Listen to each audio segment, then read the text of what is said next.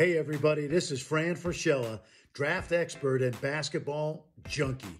To everybody who's watching, let's get our friends at General Manager Games the subscribers they deserve.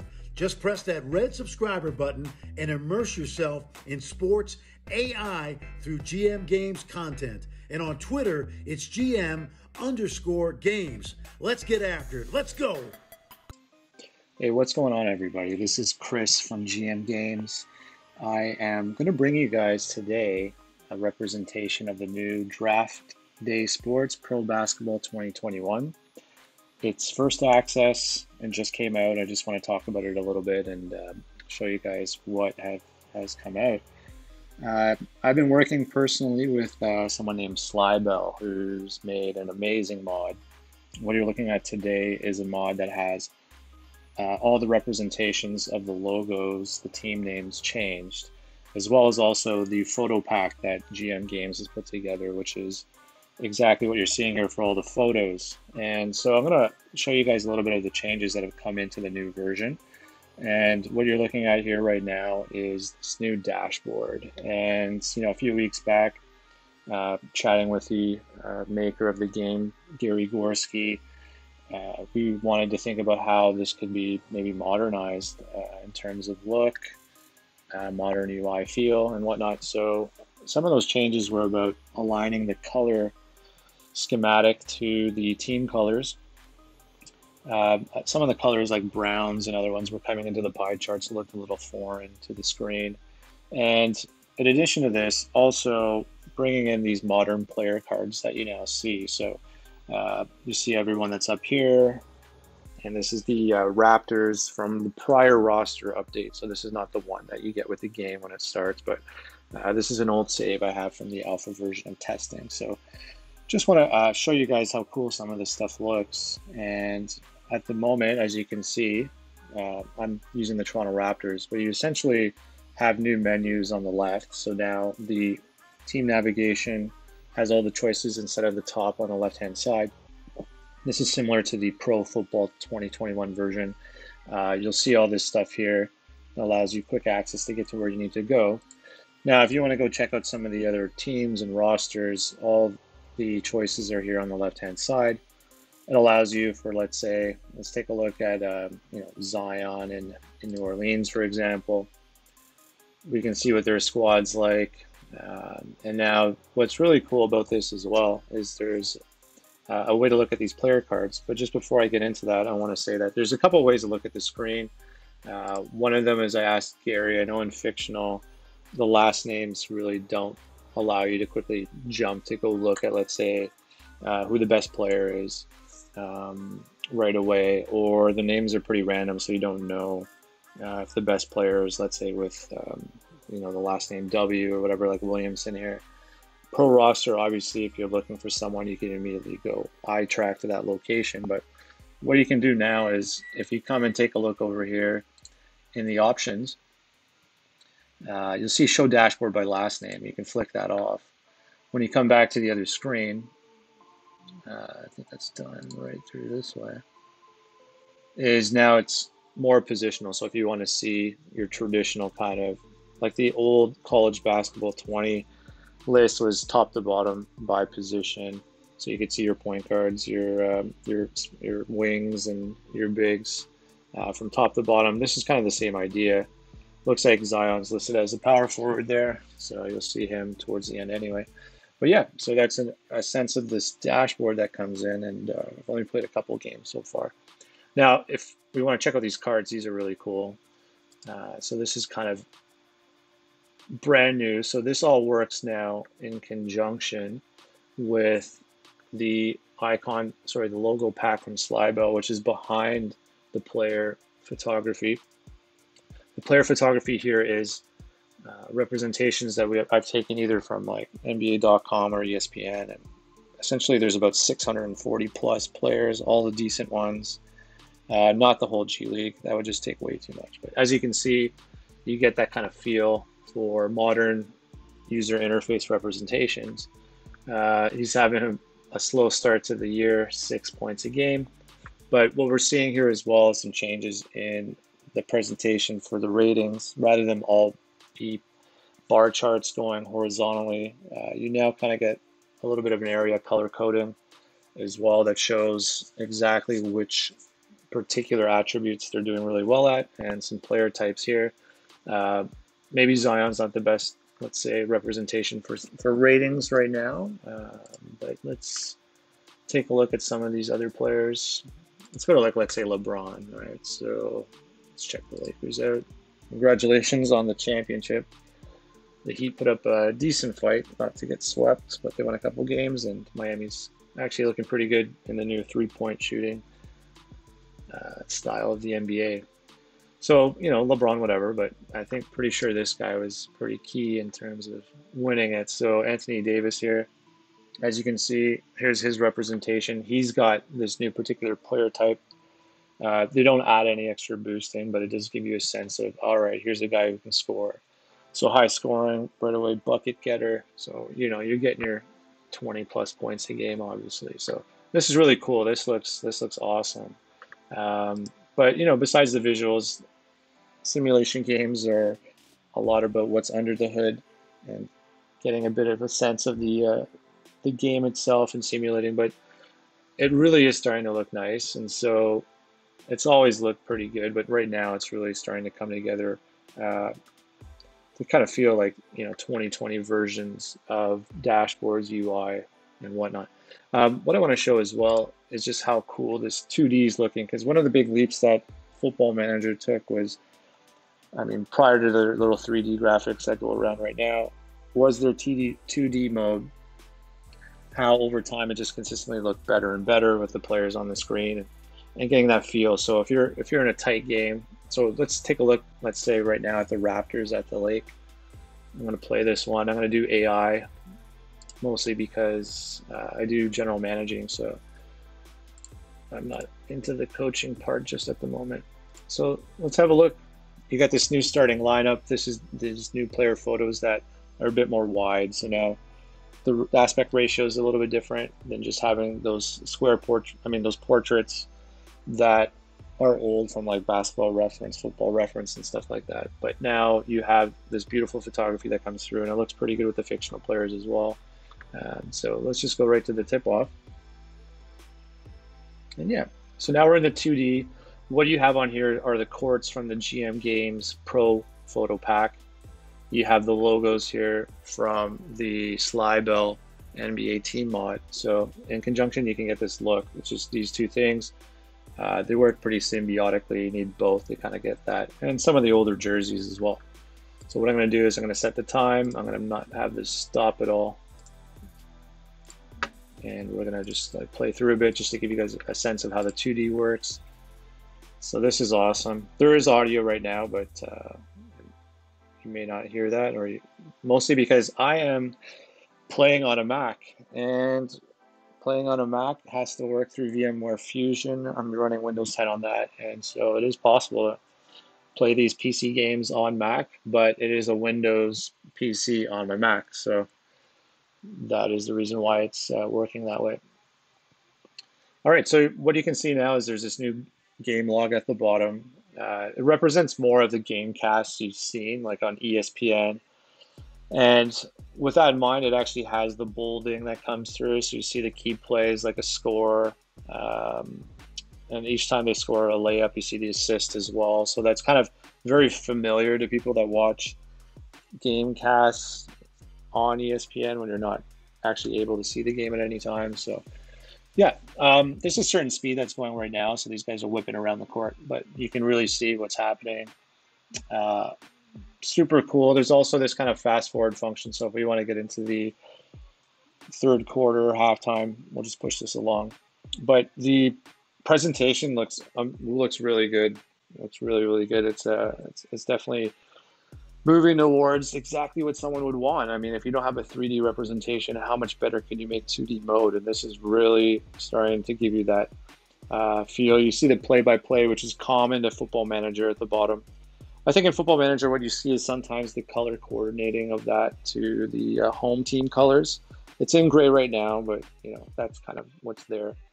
And so that gives you a sense of the 2D mode there are some new uh, Easter eggs that kind of come up at times. Like, so some players that get a triple double a TV broadcast presentation comes in, and then that will kind of come up here on the left or on the right. So that's all really cool. But let's keep moving along and show what other stuff is new in the game. So I'm going to exit out of that. Come back in over here and let's take a look at things. I think trading is another big one. And let's see what we can do with the uh, trade market here. So I think what's really cool about this is how much it's improved in terms of being able to get an offer, seeing if you can get something for your players. Um, Marc Gasol's contract's a bit of an albatross, so I'm not really sure we'll get anything for him. But we can try going around the league, uh, seeing if anyone will, will take a big. See if we can get Valanciunas back. Uh, but you know, Raptors won a ring, so no big deal there, right? Okay, so let's see like the old days, see if we can make it happen again. Uh, so cap is definitely not going to work. There's a, we have to take on some garbage. Maybe Tyus Jones. The advantage is to me that the Raptors, so it's going to most likely get rejected. And I'm getting dissed because it's not a real offer. But this is the way you do trades. What you can do is try to see if they want it. No offer at this time. Uh, so yeah, you can go through the workflow and see if anyone wants Marcus Gasol. I'm pretty sure I'll be here all day all night. He's getting old. Oh, well, if we throw in a second, second, we can take on Oubre's contract, Aron Baynes. Uh, there's got to be something here. Maybe the contracts are pretty long. 15 years, two years left. Uh, they want to get out of that contract, it looks like.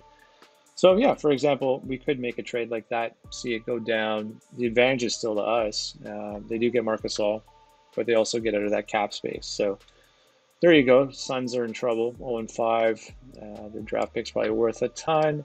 I know that Gary, the creator of this game, has said that it's much, much harder to kind of stockpile picks and gradually, let's say, improve offers by adding a couple seconds for a late first, get a late first, keep doing that, add players, get another late first, take two late first, get a mid first, maybe keep accumulating until you get that mid first to like a top 10 pick so you've literally gone from some second rounders to other players, and that just uh, doesn't happen anymore. So the AI is much improved in this game. Uh, also, let's just go through some fast simming so you can see what's happening. We'll go to the All Star break. Uh, I'll say to stop on an injury, but you can get a sense of what's happening. So the red shows at the bottom right. These toasters come up. This is pretty new. And, uh, you know, we're watching through some of the games. Uh, we won at Portland, so we got a green toaster at the bottom right. Uh, showing some milestones. Triple doubles are going on on the right hand side. Uh, we're seeing the you know Clippers win. Kawhi's going off. You can kind of get a quick glimpse of what's happening around the league. You see LeBron and Anthony Davis going off. Cousins is there. Um, the newest roster update basically takes a lot of these players off their teams, so you can start right from the draft, which is coming soon.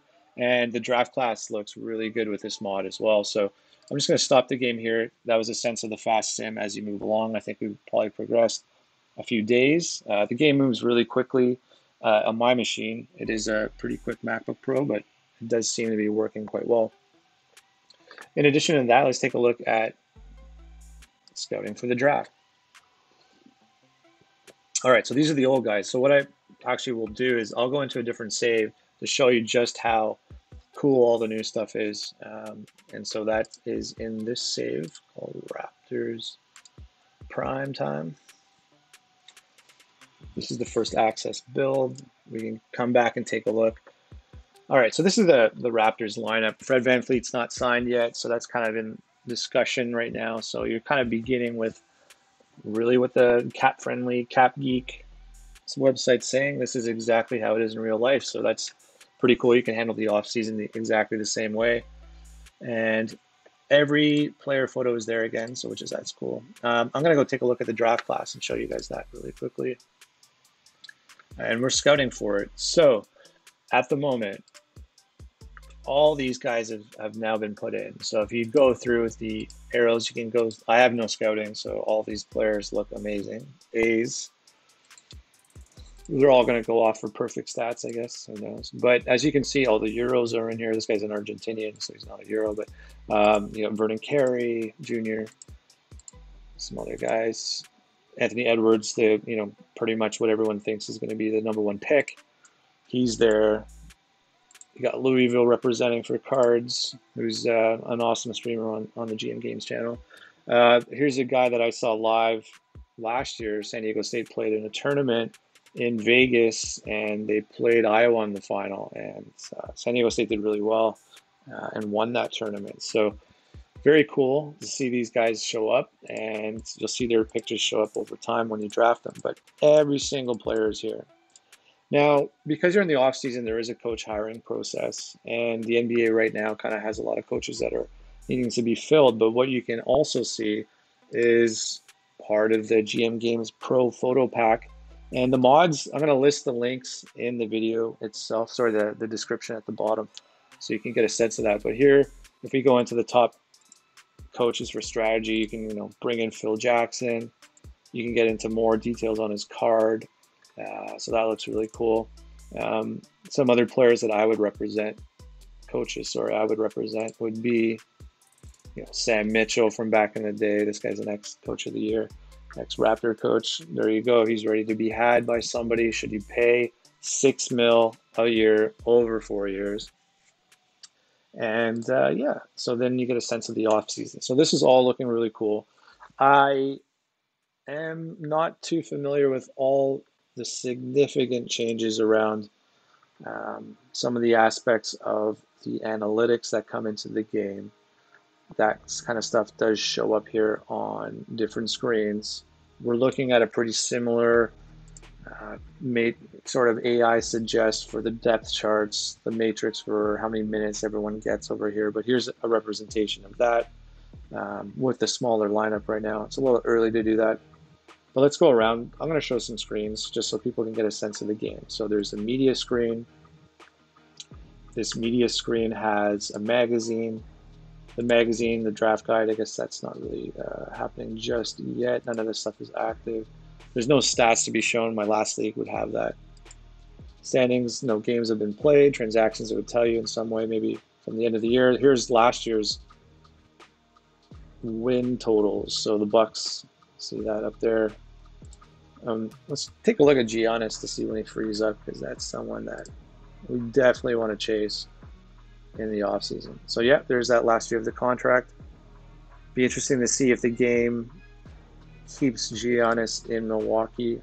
Bucks fans, I hope you you guys can hang on to your stars. It's always a little bit, you know, not good when they go away, a la Kawhi in Toronto, but you know, it happens what goes around comes around. So that's just how it goes. All right. And so for other parts of the screens, let's take a look at uh, milestones, which is a new one. And this is really cool because, I mean, here's the career historic stats for a lot of players. Vince Carter did retire. He's still here. Available.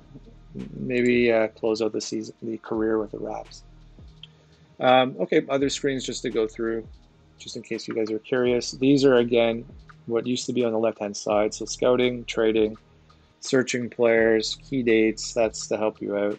Um, mostly, I guess, all-star break, maybe free agency signing, but that's all helpful. Phoning your players, uh, if they're just being troublemakers or whatever, that's all still there. Uh, let's get out of that screen. Okay, we got the inbox that's going to be valuable. It's going to have your indicator to show new stuff. There's nothing for you to do your office in terms of job security, what's expected of you. Uh, job goal is pretty cool. It tells you which roster players to keep. So just continue to show what's in the game. We got the dashboard again. That's been shown a million times by me. Let's take a look at the staff screen. We have all these coaches, not all of them, but you know I am a Raptors homer, so you're going to see a full Raptors set.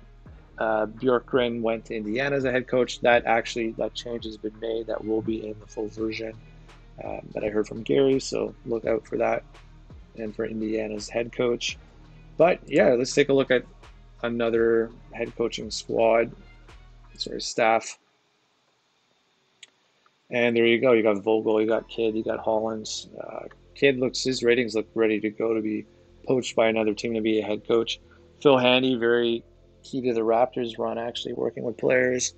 Uh, more of a you know technical coach than someone who's uh, about strategy and plays, but someone who's very good at instructing mechanics in the game of basketball. So I had to, we had to get a photo of Phil Handy in there. So respect to that dude. And uh, yeah, so you got the roster. I'm just going to go through these screens one more time for anyone who's considering getting the game.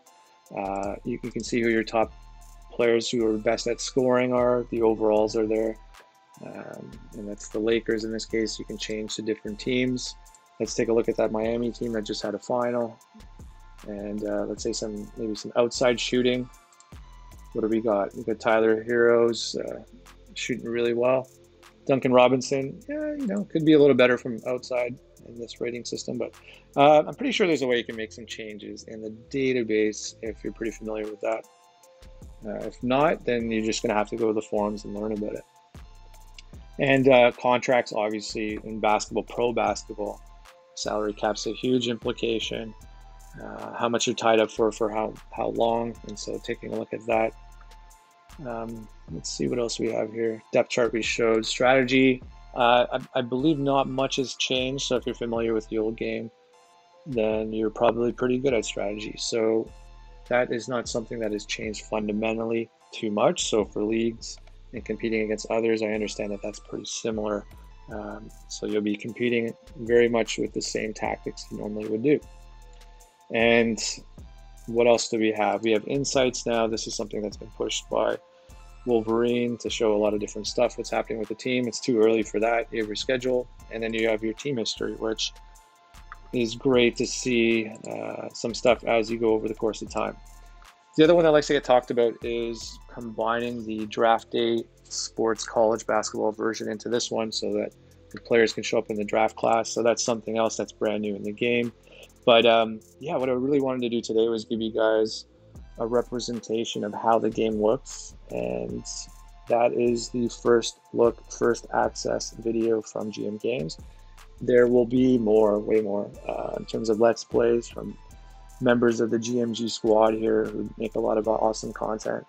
And we also have on the channel other baseball stuff. We have college basketball. We have pro football. College football is uh, something that we need to get into as well. So um, we don't ask you to please subscribe to the channel. Our Discord has about 1,400 people. We also have, you know, obviously our main site is the crown jewel, all the, the database of games, all the user ratings, find out which is really good on a lot of different interfaces and platforms. Um, that's something that you'll want to take a look at for sure. And uh, if you're not familiar with our website, this is a representation of it here. You got the main site of GM Games, and you have the ability to, to, to watch videos and all that kind of cool stuff. So yeah, uh, come on by. Thanks again for watching, and uh, really hope you enjoy the new Draft Day Sports Pro Basketball 21. Um, hopefully there's some leagues, so if anyone's setting up some leagues, please come into our Discord and, and advertise those in our multiplayer channel. Okay, thanks again.